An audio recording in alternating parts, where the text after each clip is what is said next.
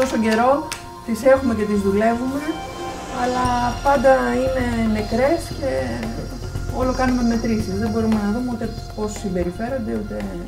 Με αυτή την ευχή πάμε και την προσδοκία. Λες να είσαι τυχερός ο πρώτος που θα τις κινηματογραφήσει παγκοσμίως.